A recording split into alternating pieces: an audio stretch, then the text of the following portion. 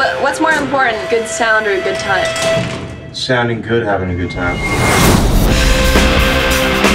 I remember thinking maybe New York isn't the kind of city anymore that produces iconic bands.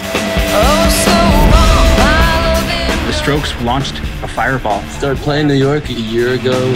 We've been tearing stuff up. A lot of people quit their jobs and just were like, I'm gonna play music full time. We felt like we were gonna take over the world. People went crazy for it. Suddenly, there were bands everywhere.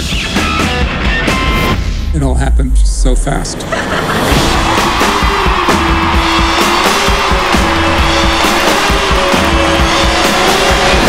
We're ready. Right team? Go team. Okay. Julian was telling me how scared he was.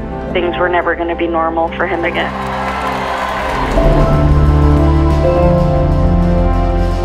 Woman fronting a rock band, I was sensationalized. There was a lot of tension in the studio. He said, You really don't want people to hear this. But I've lived in fear my whole life, and I had nothing to lose. You could feel the love from the community. You could fail, and it didn't matter. It was about freedom. It became our home. Those years were the, the big bang of my life.